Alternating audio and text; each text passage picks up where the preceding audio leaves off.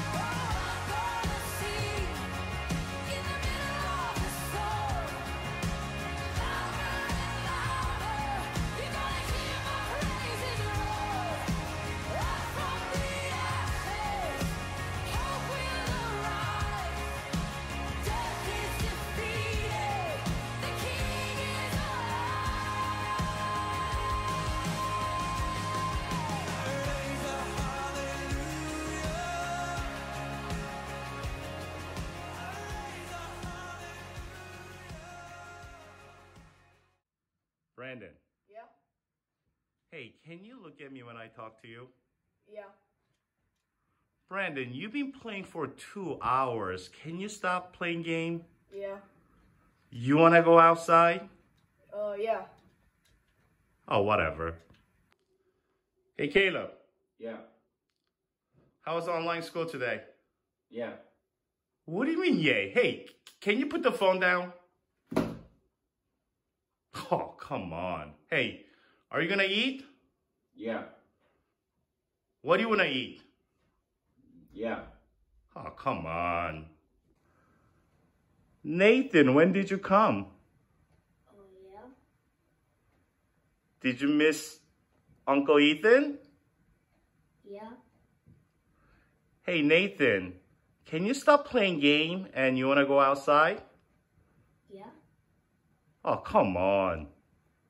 Does this happen in your home too? Kids are constantly on their smartphone or playing a video game like 18 hours a day. They just cannot get off these electronics. Hello, this is Pastor Ethan.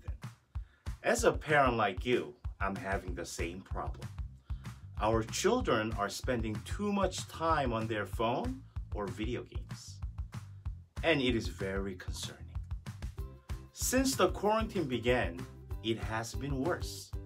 Kids do not go to school, cannot go outside for any sports, and kids cannot even hang out with their friends.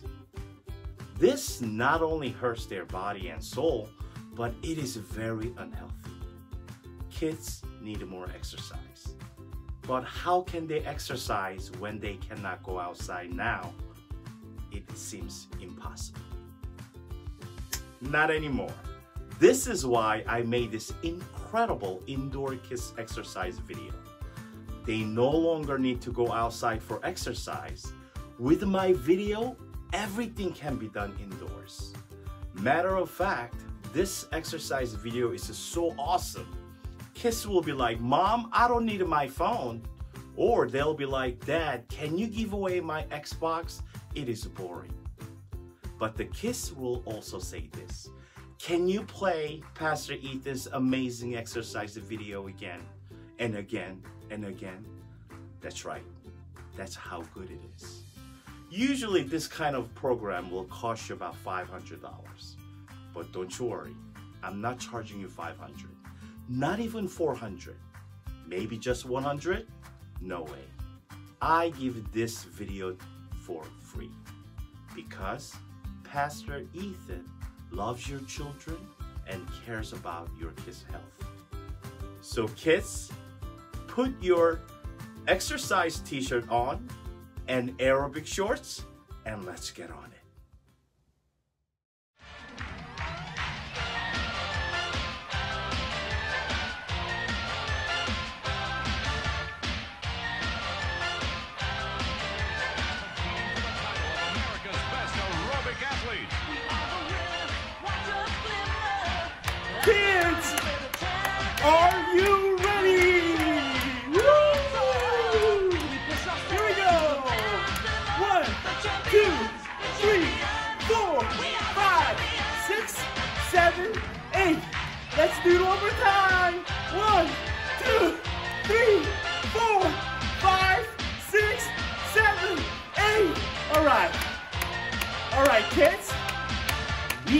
from the neck.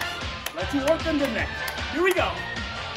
One, two, three, four. Let's go a little faster. Let's go faster. Woo! Woo! I'm. Okay. All right, guys. Now let's work on the shoulder. You ready? Ah!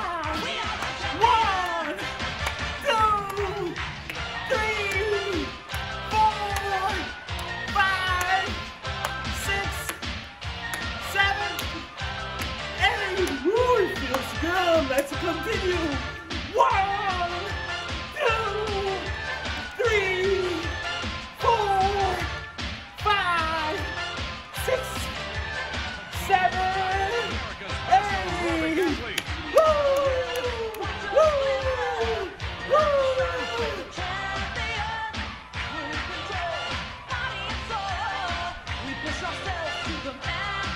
What? We're gonna work on mm, bicep. Here we go. Grab anything And pull, yes. Pull, yes. Pull, yes. Pull, yes. Ooh, look at my bicep. Mwah. Guys, do not stop. Do not stop. Now, we're gonna work on our core. So what you do is turn,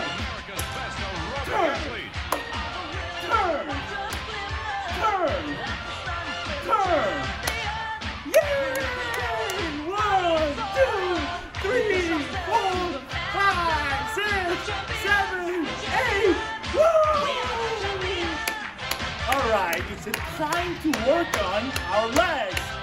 You ready? Here we go. One, two, three, four, five, six, seven, eight. Wow, that feels really good. That feels really good. One more time. One,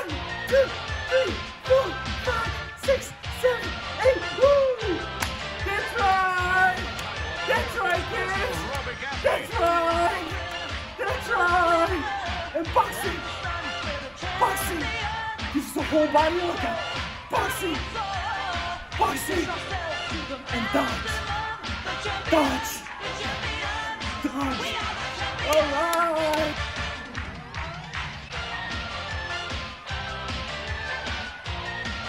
All right.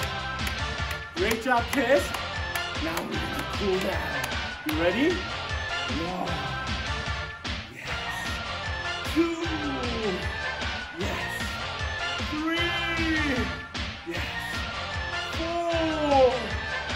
That was great exercise. Great job, kids. Right. Good morning, kids. This is Pastor Ethan. Before we begin our service, I have to go change my clothes. This is so embarrassing. I'll be right back. I am back. Good morning, kids. Welcome to Sunday service. This is a Pastor Ethan coming from Evangel Chapel. I hope everyone is doing well. You know, after that exercise, I'm sure you guys are ready for the service. Today is a Sunday. Today is a Lord's Day. Today is a Sabbath. And we are all here. Well, you're home, but we're together through the internet. We're all here to worship the Lord and pray to God. And we are here to learn about Jesus. Great. So let's praise the Lord and let God hear us.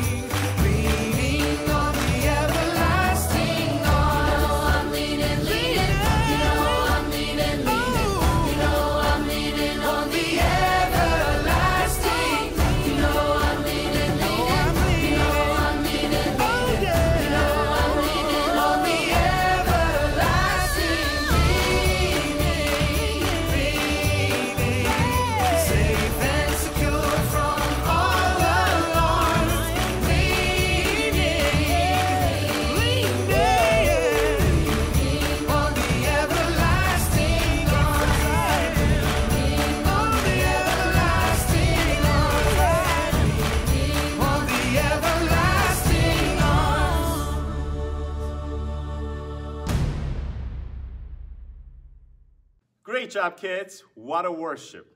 I'm sure God heard us. Amen? I love this song. This song is basically teaching us we do not have to be afraid of anything and we should not worry about anything because God provides his everlasting arms that we can lean on anytime, anywhere. What an amazing God we serve. Amen. He loves us so much, and God is good all the time. Yes, all the time. God is good. Yay! Now it is a time to learn about the Bible. Past few weeks, we've been learning about Jesus dying on the cross for our sin and Jesus being resurrected after he died. Now I have some review questions for you. What happened at the moment Jesus died on the cross? Anyone? Yes, Lily. What is that? Yes, there was an earthquake. Here's a candy for you. What else? Yes, Juju. Uh huh. Many dead people came out of their tomb and came back to life. Woo, that's a good one, Juju. What else? One more. We learned about this last week. What happened to the curtain of the temple? Yes, Caleb Yugesh. What? The curtain became the shower curtain? Uh, no, sorry. Well, I'll give you one more chance, Caleb. Yes, that is correct. The curtain was torn in two from top to bottom. Great job, Caleb. But what does that mean? The curtain was torn. Yes, yes, yes. It means Jesus was the last sacrifice to God. So we do not have to kill animals to come to God. But now we have a direct connection to God through Jesus. And that is why Jesus is called the Lamb of God.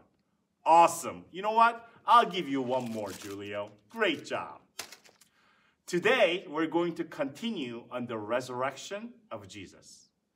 After Jesus was resurrected, he appeared to a lot of people. Mary Magdalene, one of Jesus' follower, Mary, the mother of James, and two other ladies, and two disciples on the road to the village called Emmaus. And he also appeared to all the disciples. And the Bible says Jesus was seen by over 500 people at once, and many more.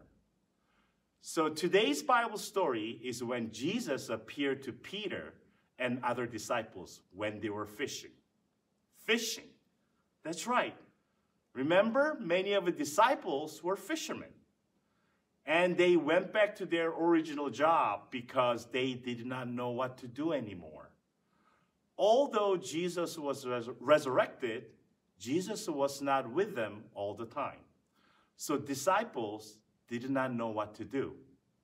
So this story today is from the book of John, chapter 21. Make sure you read it after the service. They were trying to catch the fish all night, but could not catch anything.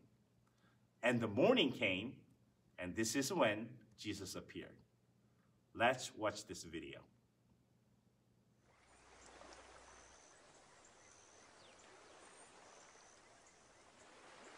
Good morning. Who was that? Who's that? Who's calling out?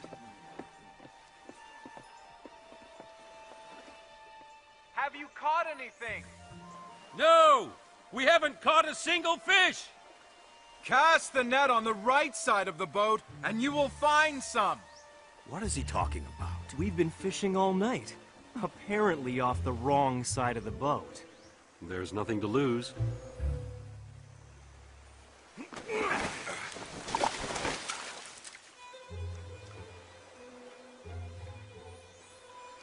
What makes him think this is going to work? I have been running the sonar all night, and there are no fish anywhere near here. That is a fact.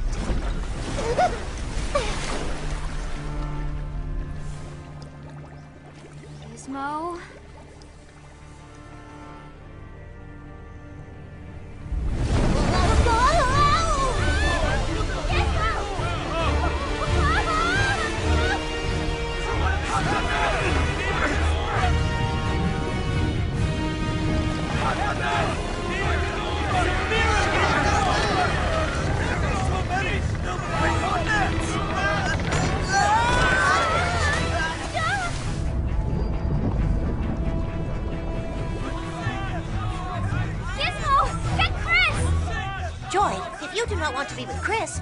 What makes you think he now Get wants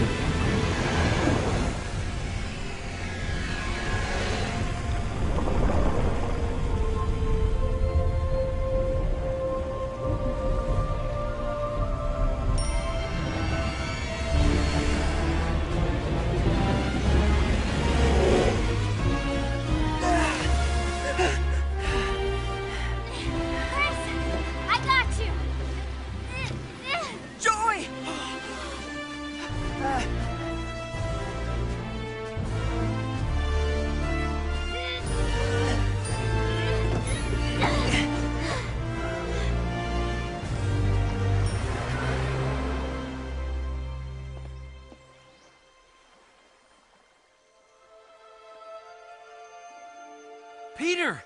It's. Jesus. What? Teacher!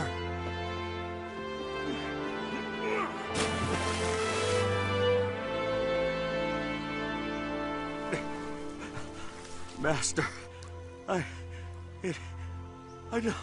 Bring some of the fish you have just caught.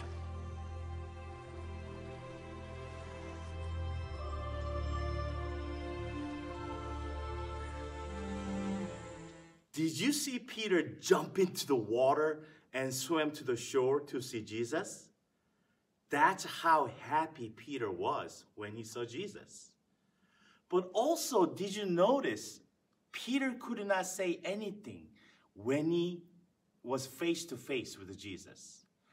I would have given Jesus a big hug or I'll scream like, Yay, Jesus! But Peter was like a little weird, right? He was like, Master, I, I, right? Does anybody know why Peter was like that? Yes, Ben. Yes, Peter was embarrassed because, no, Peter did not pee in the water. Well, even if he did, it would not be noticeable because his entire clothes, clothes was wet. Uh, I'll still give you candy, Ben. Yes, Peter could not say anything because he sinned against Jesus. Remember the night Jesus was arrested? Peter was so scared, and Peter denied Jesus and said, No, I do not know him. And Peter did that how many times? Yes, three times. Peter used to say, Jesus, I'll do anything for you. I will follow you anywhere, everywhere. But that night, Peter lied and said he does not know Jesus three times. That's why Peter could not say anything to Jesus when he saw him. Peter really felt bad because he betrayed him. I'm sure when they were eating together, Peter could not say anything either. But this is what Jesus did for Peter. Let's watch.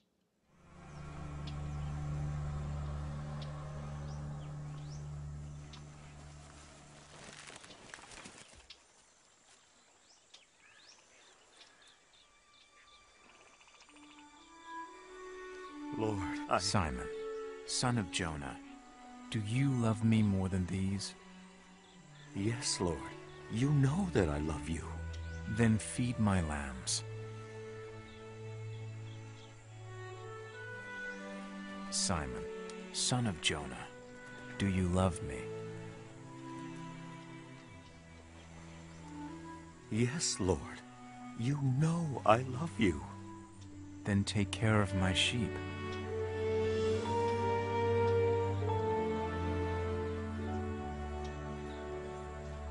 Simon, son of Jonah, do you love me?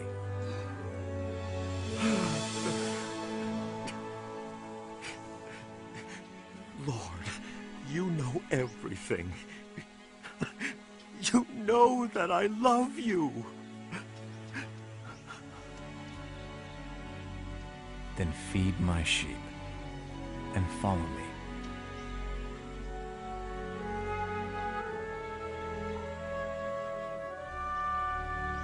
Peter denied Jesus three times, so Jesus is restoring him three times.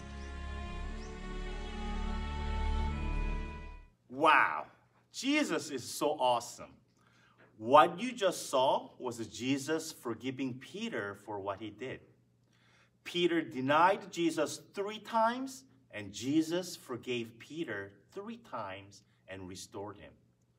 Restore means bring back. So Jesus brought back Peter so Peter can continue to tell people about Jesus.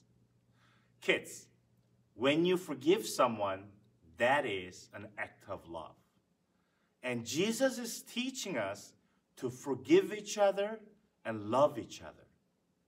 Right now, if you're mad at your brother or sister for something, could you look at her or him and say, I forgive you and I love you? Come on, let's do it. Jesus loves that when you forgive someone. Also, there's another thing we must remember. After Jesus asked Peter, Do you love me? And Peter replied to Jesus, I love you. They did that for three times. And Jesus said, Feed my sheep or feed my lambs. Sheep or lambs are people. Whether they believe in Jesus or not, God still cares about everyone.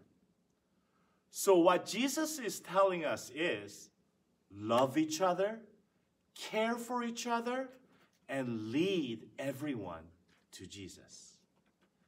And you will do that if you truly, truly love Jesus. Let's spread the gospel whenever we can or wherever you are, we are. Let us pray. Father God, thank you for showing your love and forgiving Peter. And we learned that forgiving is love.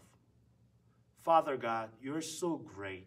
You not only die for our sins, but you continue to lead us and guide us. Lord, thank you so much. And we love you. Because we love you, Lord, we're going to follow what you tell us to do. We're going to obey what you command us to do, Father God. We want to go out and tell people about you. We want to spread the gospel to the end of the world. Thank you, Jesus. We pray in your name. Amen. Guys, do not forget the offering, right? It is very important to bring a gift to God when you come to service. I have to say, kids, I really, really miss you guys, and I'll see you next Sunday. Bye.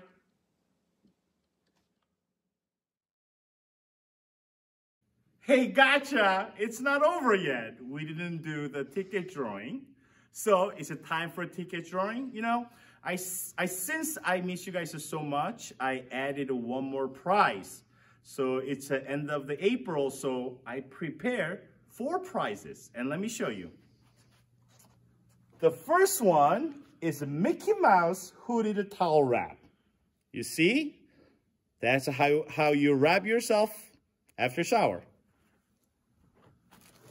Number two is bubble sticks. Once we can go out, you're gonna make as many bubbles as you want outside.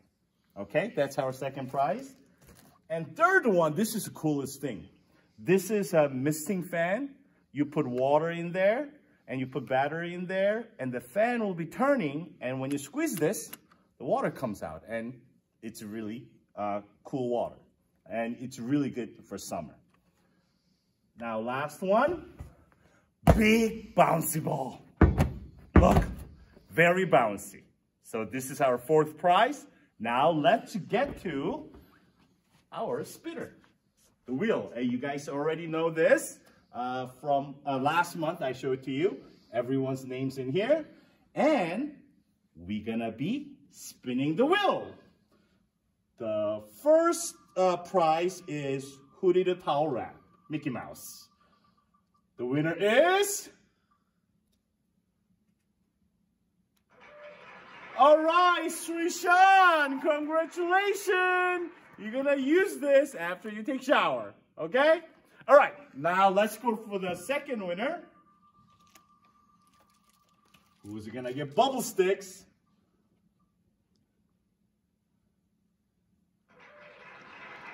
No way! oh, you know what? This is a fair spinner. Jack Fisher, congratulations. Two months in a row, you get the prize. This is, uh, yep, bubble sticks. Now let's pick our third winner. Ooh, this is a good one.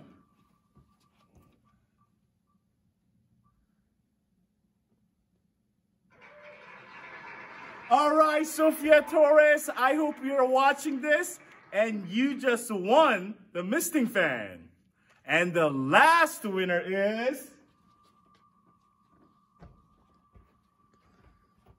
Bouncy ball, bouncy ball.